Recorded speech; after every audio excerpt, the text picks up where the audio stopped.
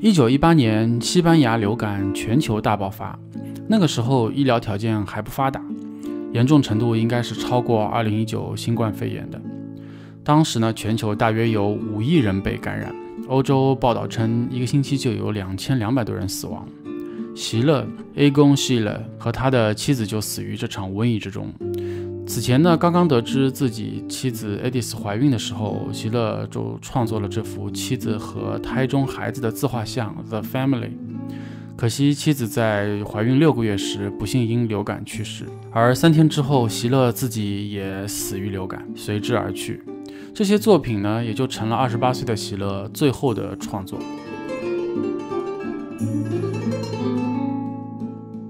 虽然英年早逝，但席勒一直被认为是表现主义最重要的画家之一，也同样激发了随后的一些艺术流派。那什么是表现主义呢？从古典学院派绘画的写实风格，再到印象派主张记录自己眼睛里看到的真实世界，这一切呢，都还是在描绘客观；而表现主义 （expressionism） 则抛弃客观，用画面表达画家的主观感受和强烈的情感。著名的表现主义画家，我猜你一定听说过，比如梵高 （Vincent van Gogh） 和蒙克 （Edvard Munch）。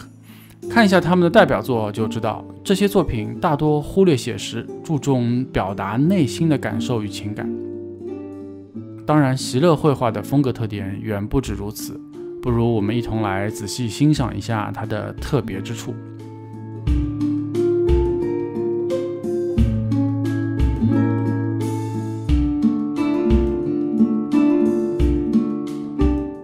一八九零年，席勒生于奥地利，当时呢还是奥匈帝国，不过已经是处于濒临衰败的边缘，也是第一次世界大战的战争年代。再加上十四岁父亲就死于病毒感染，这导致了他日后偏阴郁的绘画风格。因为绘画天赋，席勒十六岁就被推荐到维也纳当代艺术学院学习素描和油画。同年呢。希特勒也报考了该学校，却被拒绝录取，最终就酿成了大祸。说到席勒的老师古斯塔夫·克里姆特 （Gustav Klimt） 也是大名鼎鼎，他最出名的作品《吻》（The Kiss） 在奥地利被奉为国宝。而另外一幅阿黛尔·布洛赫鲍尔的肖像一号，常常被称为奥地利的蒙娜丽莎。二零零六年，这幅画被拍卖，成交金额高达一点三五亿美金。席勒在线条和构图上完美继承了克里姆特优雅的装饰手法。他创作过很多极具个人风格的自画像，与同样爱画自画像的伦勃朗和梵高就太不一样了。席勒对自己的描绘大多有着扭曲的五官和空洞的眼神，以及极具暗示意味的线条和色彩。对线条的运用是他绘画风格中最大的特点。提到席勒呢，大家首先想到的是他神经质般的线条勾勒，再加上使用对比强烈的色彩，这都是典型表现主义绘画手法。是画家主观情感的强烈体现，而橙红色是席勒使用最多、最有他个人代表性的色彩，被认为是他绘画中情感和生命力的象征。和其他画家有很大不同的地方呢，是席勒的画面中啊会有大量的留白，他并不会用色彩将整个画布填满。这是之前画家都从来没有过的处理手法。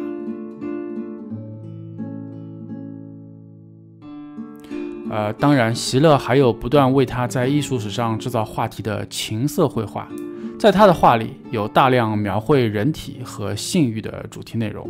席勒画过很多女性人物，其中出现最多的是一位叫做 Wally 的女子，原本是克里姆特的模特，也可能是情人。当年相识的时候呢，席勒二十三岁，Wally 十八岁。其中的一幅肖像画《Portrait of Wally》最为出名。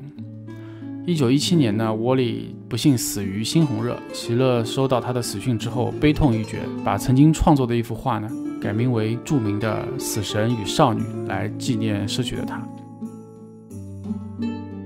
对于女性身体直接暴露的描绘。让席勒在当时保守的社会里受到了很大的非议和攻击。他曾经让房东十四岁的女儿给自己当裸体模特，结果被送上法庭判刑坐牢。一九一五年，席勒婚后三天就被军队征召，不过呢是在战俘营看管战犯，他也会给战俘画一些肖像。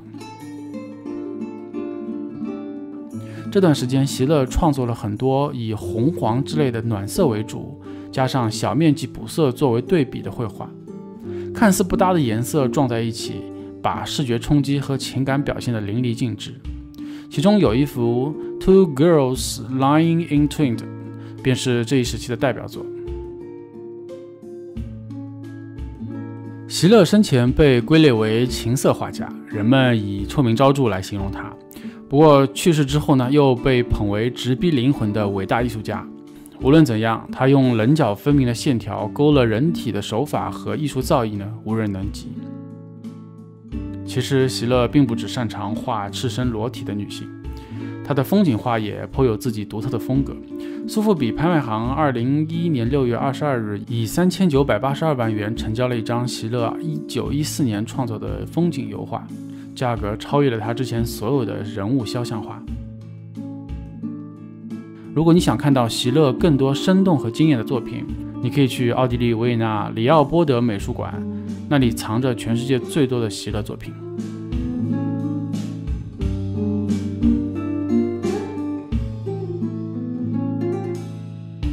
我待会谢谢观看，希望本期关于人文艺术内容可以让你对世界的感受多一点细节。